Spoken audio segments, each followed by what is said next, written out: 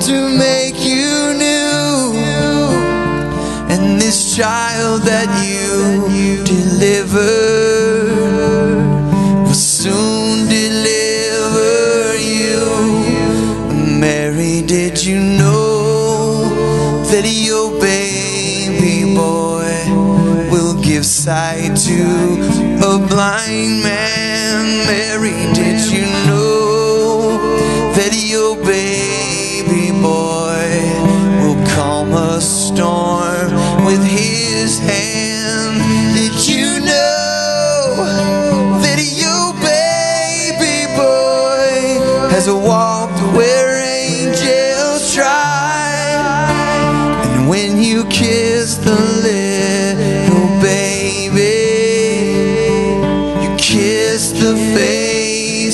God.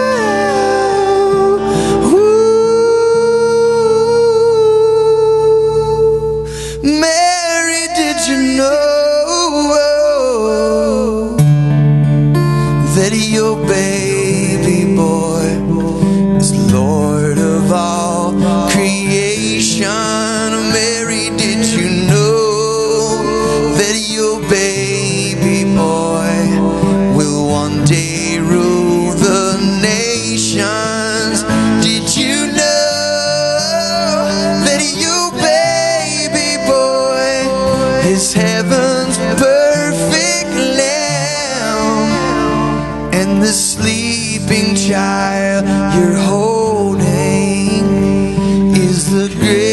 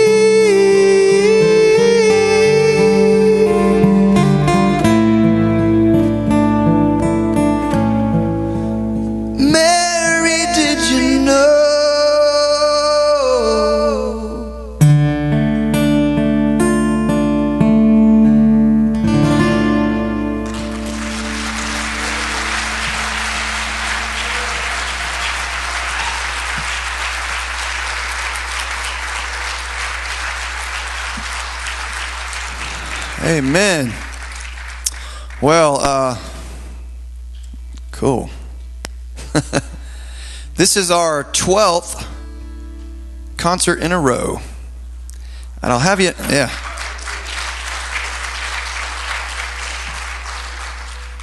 I know we, we look fresh, don't we?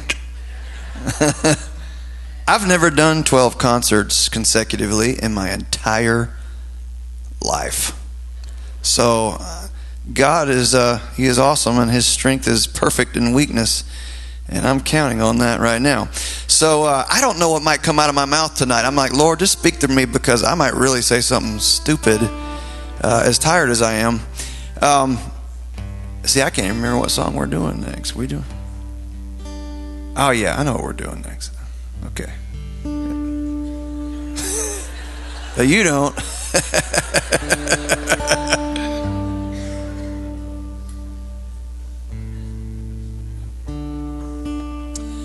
Um, we brought all of our kids up here. We have nine kids. Yeah.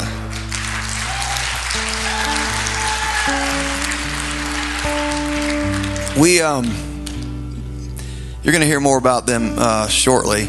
Um, this next song is, is an original Christmas song that um, I wrote with a friend of mine, but it's basically uh, the gist and the idea behind this song is that the, the King of Kings, you know, everything he did was unlikely for a king. Of all the places that he could come to, he he was born and placed into a manger, a feeding trough. Unlikely place for deity to be placed into a feeding trough.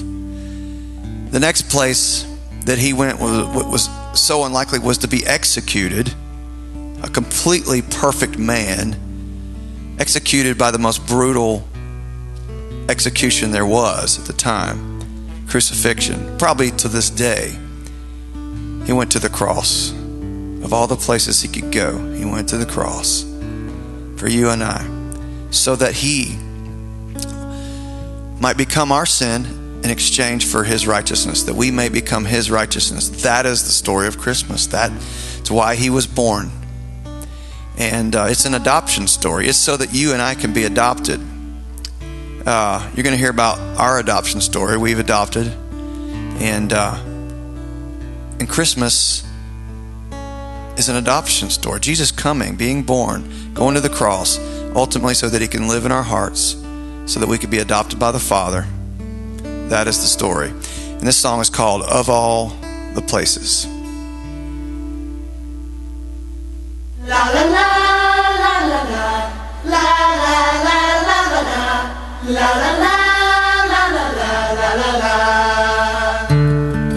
Carefully they wrapped him and they laid him on the hay. Infant and creator, the truth, the life, the way. And it seems like such a shame find the name above all names in such a cold, unholy place.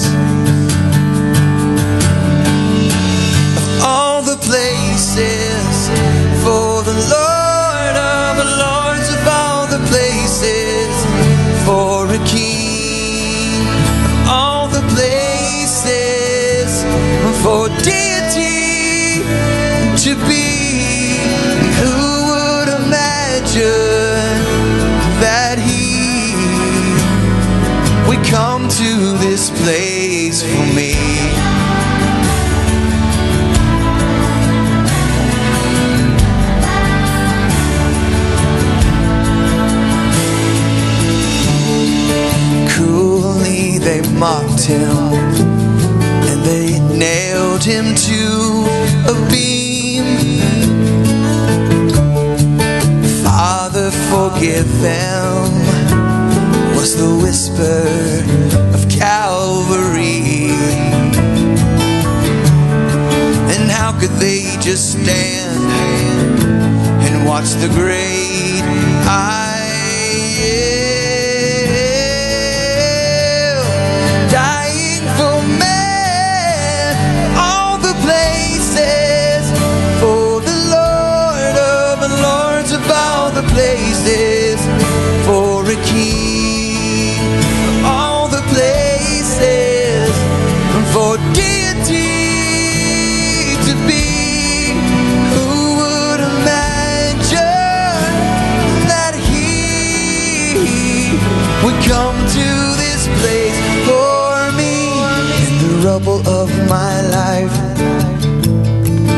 found what was left of me. He entered in and he bound up the wounds that tortured me. And I was so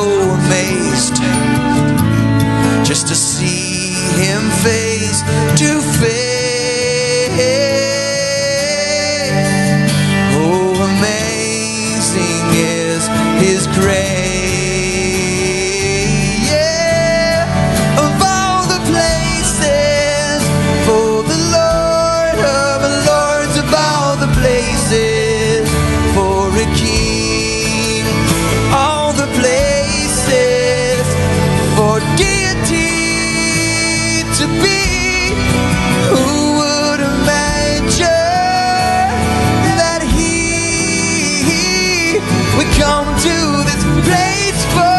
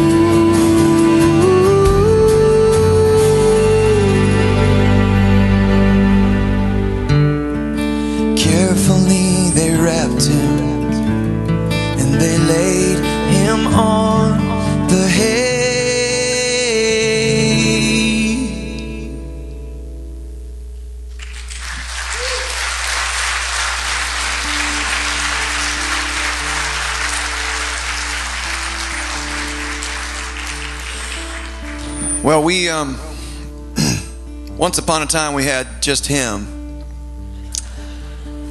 and then there was Hadley. So we had our boy and our girl, and we thought, okay, we're done. We got a boy and a girl.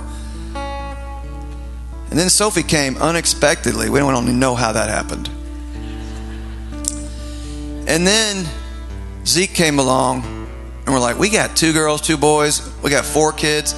We're officially on the freak list in our country when you have four or more in this country, you know how it goes. People start saying funny things to you. But anyway, so then we had Josiah. So then we we had five. So we're really one of those families that's like busting out of a minivan, practically, you know. And so that's when people started really just kind of thinking, "Whoa, you got your hands full." And um, the day after Josiah was born, um, we were at the hospital. We are waiting for my mom to show up, my mom and dad to come meet Josiah. Um, and my mom arrived in an ambulance, had a heart attack, and she passed away in the hospital. Same hospital, never met Joey. That grieved me so much to lose her, but then not her not get, be able to meet Josiah wish you could meet Josiah. He, he he's in the playroom, and, and we were going to get him to introduce me tonight, but he he was just having a good old time. He's three. Zeke is almost six, and they're back there playing. But um, um, so within a few months, I'm you know grieving the loss of my mother. I'm trying to bond with my son, uh, and my wife takes a trip with me, and we go out west somewhere, and I, I did a concert out there, and there's a bunch of families there who um, had adopted from around the world. And uh, they were hosting us. And so all these kids are running around, you know, red, yellow, black, and white. They were all there. And it was so cool. And this one little girl really took to my wife. And uh, I love what you're playing. I love it so much that I can't remember my story when I'm listening to it. So play a little softer. I'm like, that sounds really good. That's my guitar. These are both my guitars. I really love the way that one sounds, but it's distracting me. It sounds so good. Okay, just real. My brain is like jelly. Okay, yeah, I like the swells better. The whales mating, that's better. Okay, so my story. Somebody tell me where I was. The concert, right? Jo- Josie went with me these kids adopted from around the world. This little girl from China sitting in Josie's lap constantly. I'm like, what's up with that? This little girl's so cute and she really likes my wife. And so by the end of the trip, we go back home and um, we're on the plane, and my wife says, I know this sounds crazy, but I feel like we're supposed to adopt. And I was like, wow. Like, we got a baby. We just had him. He's brand new. He can hear you. You women are never satisfied. So I've always been the crazy one. She's a little more on the, you know, she's got her feet on the ground. She keeps my feet on the ground. But we immediately, I'm like, all right, that sounds great. I've always wanted to adopt. So as soon as she said that, I'm like, boom, we're on the same page. Let's go do this. And we start down that path and we decide we're going to pray about it for like, we're going to pray and fast because we feel like we need to really hear from God. Our daughter's somewhere in the world. We wanted to adopt a little girl, older little girl, three to five years old, and we needed to find her. And so we started praying and fasting, and I'm talking stuff started happening immediately. It was so cool. But when you want to, when you need to hear from God and you're praying and, you, are like you're just not getting what you're not getting an answer, try fasting because it really puts you in tune with God in a way that that when you don't fast, it, it's different. So we're fasting and praying. The first day of the fast, I fly out to a concert. This little girl comes up to me, and wants me to sign her an autograph on her CD. she says her name's Anna. And I write to Anna on her CD, and as soon as I write that name, God speaks to my heart and says, That is your daughter's name. And I'm just like, Whoa, is that God? Is that me talking to me? Is it God? God, if that's you, confirm it. The next day I go home and Josie's reading the Bible and one year Bible, that one little paragraph she's reading, it it's the uh, one year Bible that's, so the reading for the day for the New Testament was about a prophetess named Anna. Boom, there it is. Confirmation. Next night I go to bed, have a dream. And in the dream, I'm surrounded by all these older kids in an orphanage, middle school, high school kids. And I see a girl standing by herself or actually sitting by herself, long brown hair, straight, skin's like porcelain, so it's like a doll. She's about seven, I think. And I look over at her, but she's not Chinese, I notice, because we were thinking of adopting a Chinese little girl. Look at her and I say, Hey, what's your name? And she immediately looks up and says, Anna. And I say, Anna, how old are you? And she says, I am 10. I was like, 10? I was like, Whoa. Never thought of adopting a 10 year old girl. And then my mom shows up in the dream and I start crying because I see my mom and I embrace my mom and I and I begin to tell my mother about Anna. And this is a special, special moment for me in my dream because, you know, when you lose somebody, I mean, it, when you dream about them, it's just like so comforting. And and I dreamed about her, and there she was, and I was hugging her. I said, "Mom, I just met my daughter." Her name's Anna, and we're going to adopt her. And I'm thinking, I get to tell you first. And then I wake up crying, and my wife's like, What's wrong with you? And I'm like, and I said, I just met our daughter. I know what she looks like. She's 10. She's got long brown hair, straight. Her face is, skin's really like porcelain, and she's beautiful. She says she's 10, but she looks like she's about 7 and I think she's Eastern European. I'm not sure. So the next night we go to this Bible study, and this couple is there, and they hear they hear us tell the story, and yet of course the name gets confirmed again by somebody that didn't even speak English. I, I don't want to go into that, but it, Anna, once again the name was confirmed, and then this couple came up to me in the night and said, "Hey, we heard the story. We sent an email out up to a, a gal up in New Jersey who heads up the uh, Project 143 Ukrainian hosting." You said she, she's Eastern European, or you think she is. Well, today's the last day you can sign up to host an orphan, older orphan, in your home. And I got an email back with a, a picture of a little girl that we believe could be her. I mean, so you just look and you tell me what you think. And so I, I took the phone and I opened the picture, and there she was. It was absolutely beyond a shadow of a doubt. It was her. I like that. We can clap if you want to.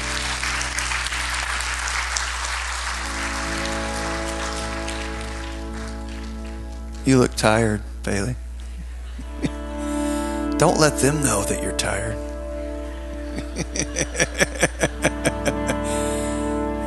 he is a young grasshopper. I am training him in the ways. Um, so, anyway, yeah, I don't remember where I was. Yes, yes, yes. Thank you. So, I'm opening up the email, and there she was. And um, I said, I, That is her beyond a shadow of a doubt. They said, Are you sure it's her? I said, Absolutely. They said, Well, you need to know she comes with an amazing 14 year old brother. Sorry. I'm like, maybe it's not her. But I was I was positive it was her. Her name was Anna. She was almost 10 by the time we'd adopt her, she would be 10. It was exactly the girl in my dream. And so I'm like, but I did not sign up for a 14 year old brother. He was 14. He was plenty amazing, if you know what I mean. And so we go home, we pray about it, we're struggling with it, but we get a peace that passes all understanding. Sometimes that's all you get to be, to move ahead in faith. And so we did and decided to host them, and they showed up a month later at the airport, we greeted them and played charades because they didn't speak much English at all. And it was fun. We fell in love with these kids. They fell in love with our family and they fit right in. It was awesome. And by the end of the summer, we asked them if they wanted to be in our family. We wanted to adopt them, and of course, they said yes. I said, Well, you have to go back, but we're going to be there to come get you. We're coming to get you, and we'll be there before Christmas if at all possible. We send them back, tears in our eyes, when we finish our paperwork. We we get a travel date so quickly because they're older, you know? I mean, Max was in danger of aging out of the orphanage, you know?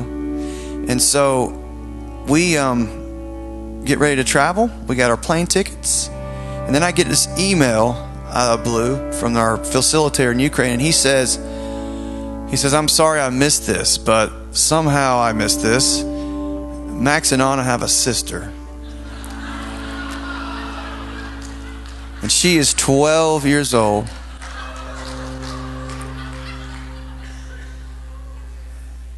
He said, If you're willing to take her too, no more charge.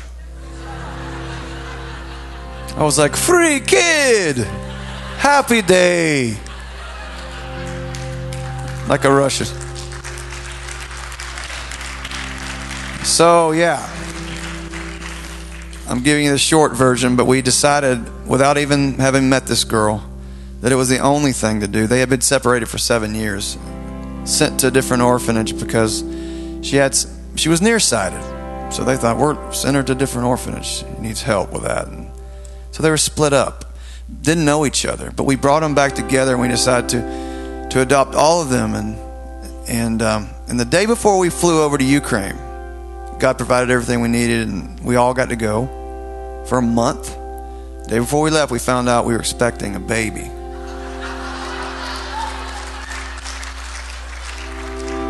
But I tell you what, he's the, he's the glue of the family. His name's Israel. You'll you'll meet them all tonight. They're all here.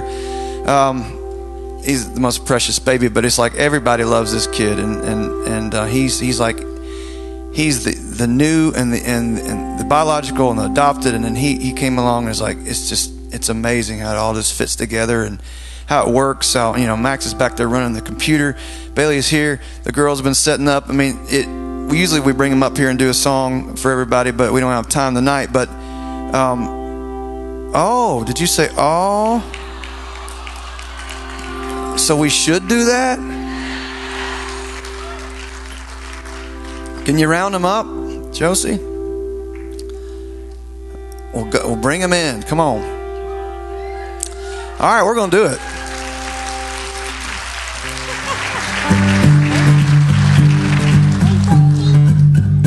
I'm hoping they come back because they all have a line to sing.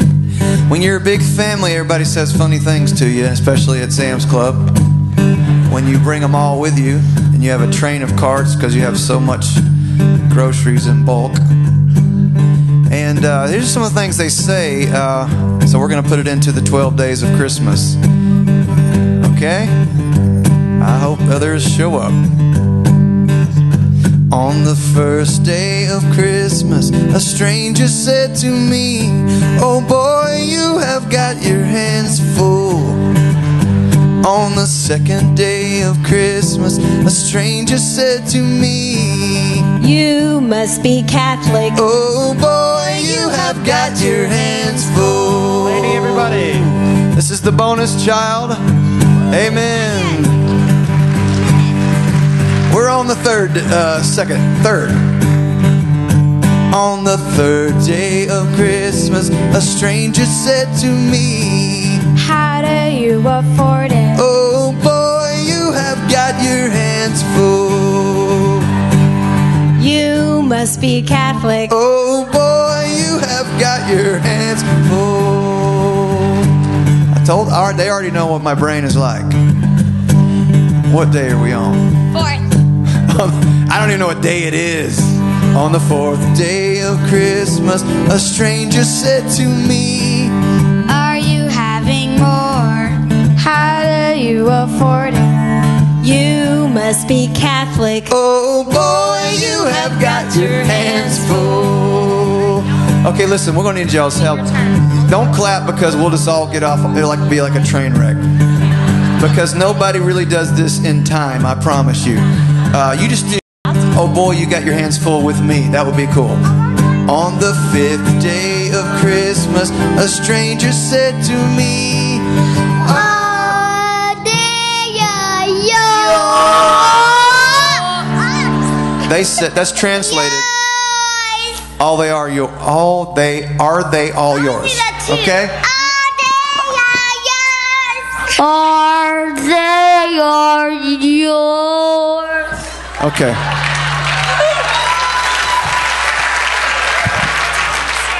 Three, four. Are you having more? Are you having more? Are you having more? How do you afford it? You must be Catholic. Oh boy, you have got your hands full. Amen. On the sixth day, on the sixth day of Christmas, a stranger said to me, Better you than me. Are they Are you? Are you having more? How do you afford it? You must be Catholic. Oh boy, you have got your hands full. On the seventh of Christmas, a stranger said to me, How do you manage? Better you than me. Are They are yours. You don't have to. Y'all gotta quit doing that so loud. You're killing everybody. Are you having more? How do you afford it? You must be Catholic. Boy, you have got your hands full.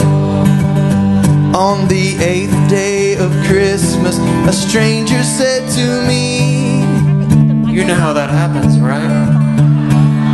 Yes. How do you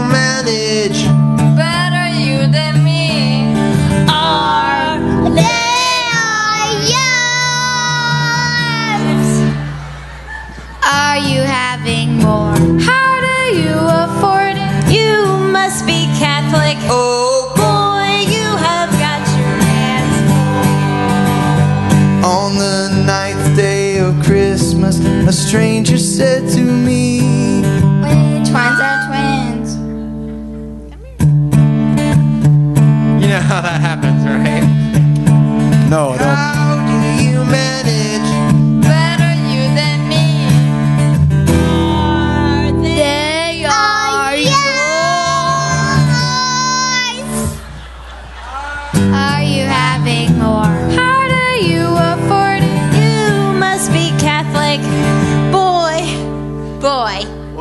got your hands full. Oh boy, you have got your hands full. We really do. 12 is a lot. I wish we could do like six days of Christmas. On the 10th day of Christmas, a stranger said to me, Is this a daycare? Which ones are twins? You know how that happens, right? Right? No. Come on. How do you manage? Better you than me.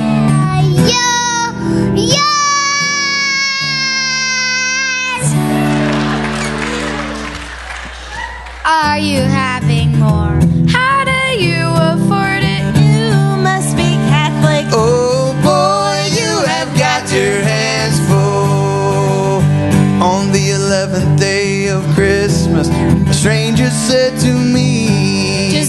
wait until they're teens. Is this a daycare? Which ones are twins? You know how that happens, right? Yes, I do now. How do you manage? Better you than me.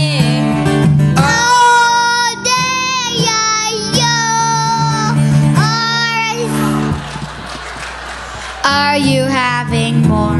How do you afford it? You must be Catholic. Oh boy, you have got your hands full. On the twelfth, thank God, of Christmas, a stranger said to me, We'll find them a husband. No, I, I messed that up. On the twelfth day of Christmas, we, joyfully reply. We'll find them a husband. No, we're not a daycare. They're two years apart. Yes, and, we, like it. What? One day at a time. We are very blessed. Yes, they're all ours.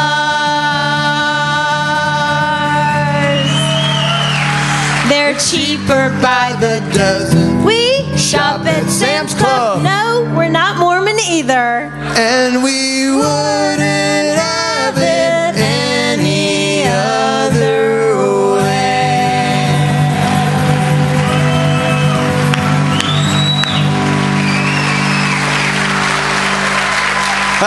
Don't- All right. Thank y'all.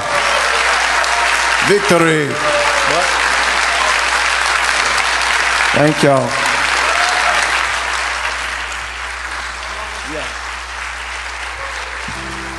So, amen. I'm, I'm so glad we did that.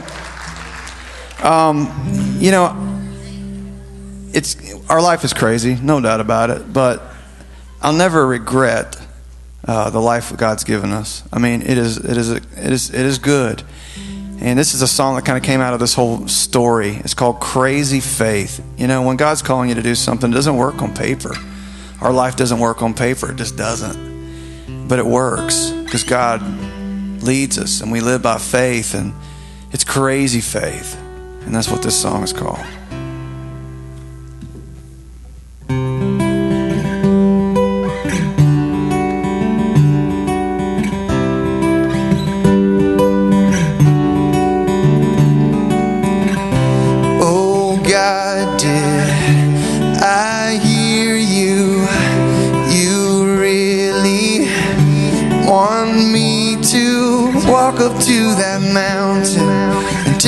Just to move? This is crazy, yeah. But her face in that picture, I said that's our daughter, but we can't swim this ocean. But you're telling us to move. This is crazy, scares me,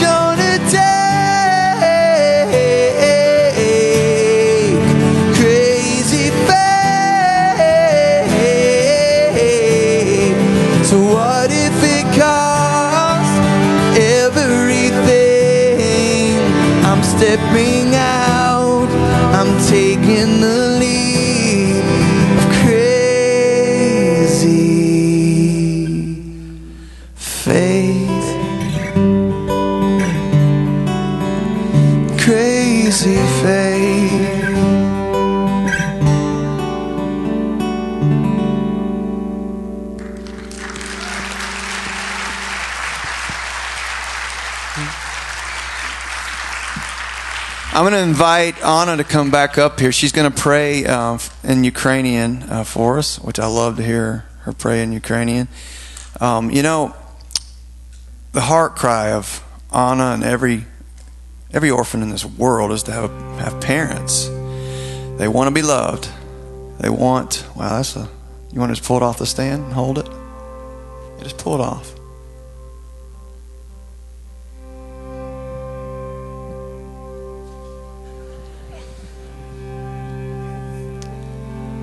There's over 150 million orphans in the world.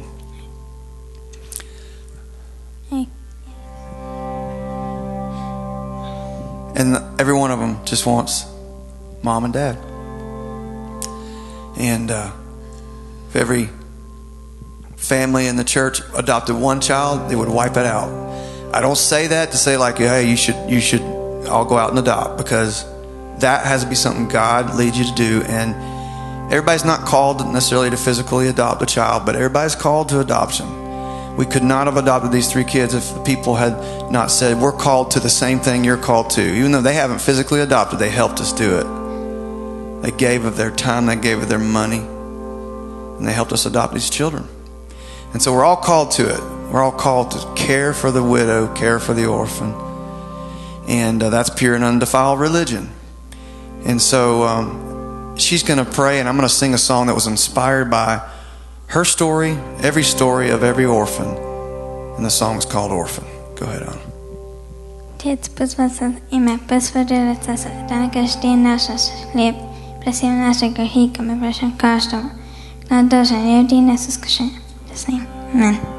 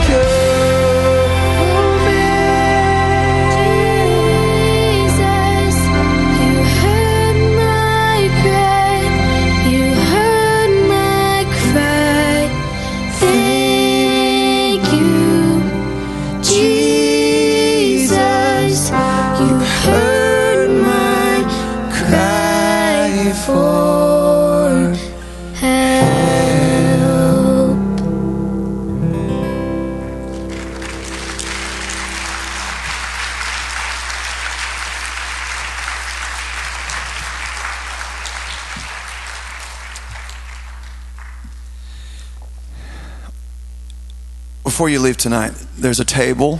When, there's several tables when you walk out there, but there's one special table.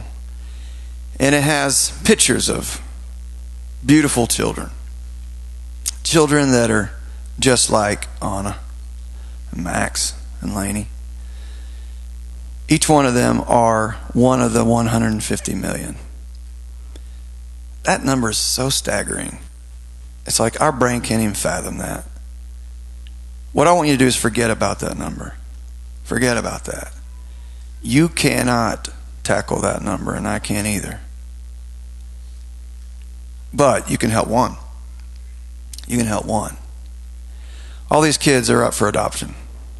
And it may be that you're called to adopt one of them, and that's that'd be awesome. And it may be that you just can help one of them, sponsor one of them for a time, because a lot happens in these adoptions. And we were so blessed to get through ours as smooth as we did, and we had three kids, and they were older, and they really their time was running out. So they waited for years. So we didn't have to wait as long as some people do. There was a family you saw on screen a while ago. They were standing there holding two pictures of two boys from Russia. They were almost done with their adoption when Vladimir Putin stopped all American adoptions to Russia. And they're absolutely devastated. And they just, you know, they came to the video shoot. I met them, and they were just, you know, weeping over these boys and believing that somehow God would get them out of there, get them home. And so a lot of these kids get caught up in politics. They get caught up in uh, corruption for their countries, and these parents just can't, it takes years to get them home. And so what they need is they need other people will say, you know what, I'm going to help you out, and I'm going to be a part of your story, even though I'm not the one that's going to be adopting you. I'm going to help support you while you're waiting to be adopted, or while you're waiting for your parents to finish your adoption, because some of them are in process, some of them are not. This is a little girl from Ethiopia. She's absolutely beautiful. And you know what her name is? Bethlehem. Bethlehem. You can be a part of Bethlehem's life. It doesn't take much money. It's thirty dollars a month, and and yeah, that's money. But I believe when you say, you know what, God, I'm going to put my resources towards caring for orphans. You know, He just multiplies it back to you. He just does, and I know that firsthand because I have three former orphans in my home, but they're not orphans anymore. They are legitimate children, and they're Wallers, and I'm as much their father as I am any other child in my home. And uh, you know what? I do cook a lot of red beans and rice because it goes a long way. But we, we make it, and God provides everything that we need and more. He said, Whatever you give up for the sake of my kingdom, I will repay you a hundred times over in this lifetime. And that's a promise. I don't know exactly what that looks like, but I count on it. I'm like, Lord, we're going to need a hundred times over just to feed these kids because they eat a hundred times over what they used to. If you will sponsor one of these kids, and it may be six months to a year before they're able to get to their forever home, and that may be how long you sponsor them, I would love to give you my new Christmas project, Silent Night, as a gift. Say thank you for being a part of the story of one child. And uh, so I want you to, when we're done, I want you to go check that table out. We're not done yet. I'm gonna um, I'm gonna be there, and I'll be glad to sign it for you and uh, tell you more about this. You'll never regret doing this. Uh, my wife is going to come back, and we're going to sing a couple of songs for you. Um, would you like that? I'm not sure where she is, though. There she is. Ladies and gentlemen, this is my wife, Josie Waller.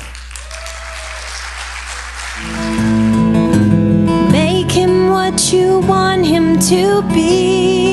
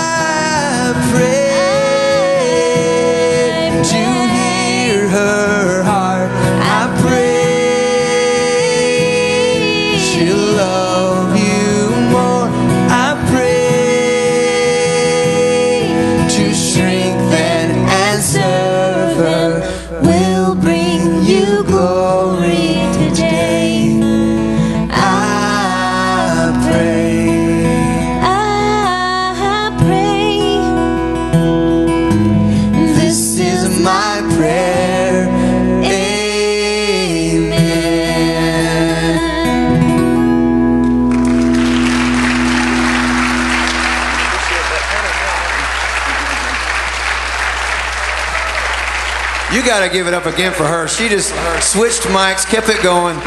That was pretty good.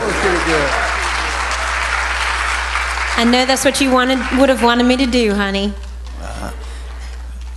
The show must go on. That's right. This is no show, Josie. This is not a show. We want to do one more song for you, and then Pastor's going to come. Um, my favorite Christmas song of all time is uh, Silent Night. That's why I named my Christmas project that. Um, I remember there was a version that I used to listen to. It came on the radio years ago, and it's for no for all you on the front row were born for sure.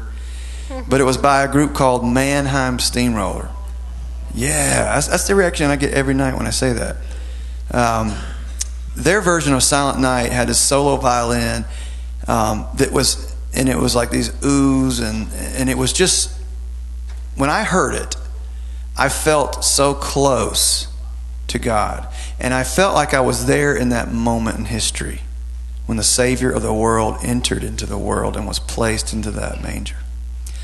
I just felt like I was there experiencing that moment in time when everything changed. When there was a way made for you and I to be adopted to the Father, to return to Him, to be restored to Him when we were separated from Him by our sin. And, and so I just remember sitting in the dark and listening to it over and over again. So when I did this project, I wanted to recreate that moment with this song. And as we sing it out, there's a, there's a longer intro. I want you to just watch the screen, watch the words. I'm going to ask maybe if we can, I don't know if you can dim the lights at all. If you can, great. If you can't, that's fine. But um, my, my dad, John Waller Sr., is playing the violin on this. So enjoy.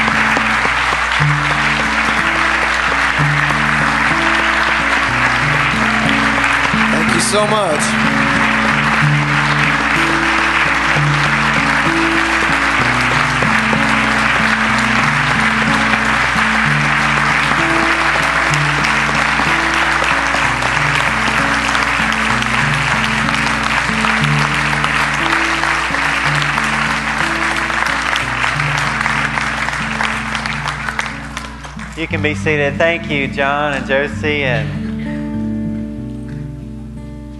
your 12 kids and counting, or no, nine, nine kids and counting. Don't say that. You said something about cheaper by the dozen, so I kind of got stuck in my head. Don't you just love it when people take what God's given them and let God use?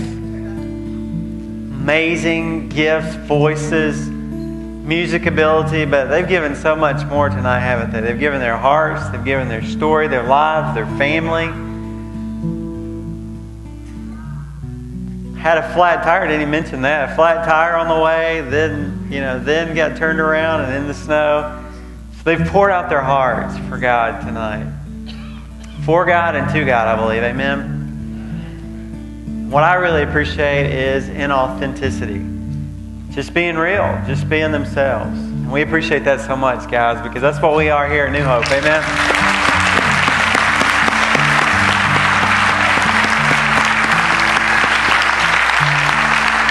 I have a feeling that uh, this was not just some old Christmas concert that you came to tonight. Amen. I have a feeling that God probably caught you off guard. Doesn't He do that? Doesn't He come at angles?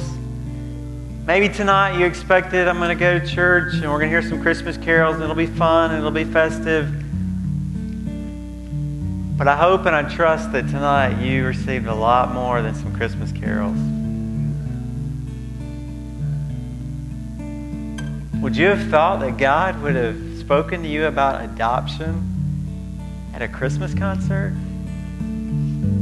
There is somebody here tonight that God is tapping on your shoulder, saying, just like John and Josie, just like the Wallers stepped out in faith, I'm calling you to go rescue that little orphan in the Ukraine, wherever it might be. Tonight, I want to challenge you. If God is speaking to your heart, would you just say yes?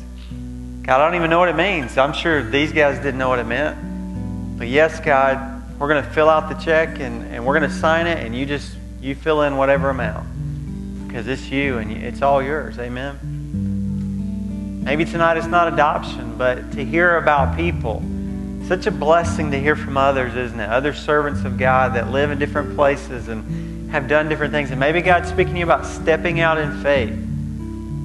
I love that crazy faith song. That should be the story of our lives.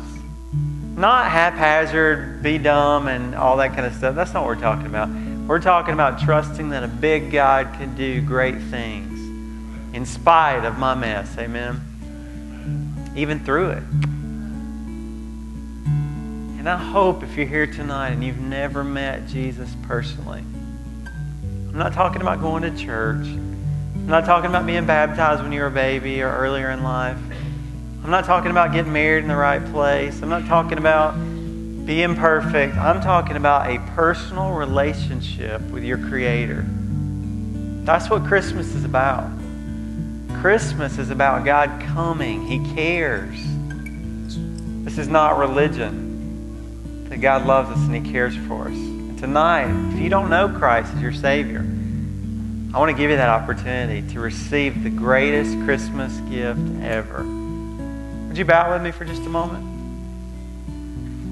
Let's just wrap up whatever God's saying to our hearts tonight. Maybe it is that step of faith. If you're a believer here tonight, God's calling you to step out in some way. Maybe just say, Yes, God, I hear what you're saying. You're speaking to my heart. They don't realize we've been doing a series called Discover Your Purpose, and maybe God's wanting to wrap up some of that. But if you're here tonight and you've never given your life to Jesus, would you say, God, thank you? Thank you for loving me enough to come. Just, just in your own words, or you can just repeat after me. Thank you, God, for loving me so much. Thank you, Jesus, for being born into this world thank you for living a perfect life, for dying on that cross to pay for what I deserve to pay. I ask you to come into my life, forgive me for what I've done wrong, and be my Savior. Father, we thank you that your word says, Whoever calls upon the name of the Lord shall be saved, forgiven adopted into your family. We worship you tonight, Lord, and we thank you for those who've made that decision. Before we raise our heads, you made that decision tonight, nobody else is looking, just me, you, and God, would you slip up your hand and let me know that tonight? If you said, Jesus, I want you to be my Savior, would you lift up your hand? Amen. Anybody else? Amen. Anybody else? Amen. The greatest Christmas present at all, you're receiving it tonight. Amen. Father, thank you that the Bible says there's rejoicing in heaven when people give their lives to you. Pray these things in Jesus' awesome name. Amen.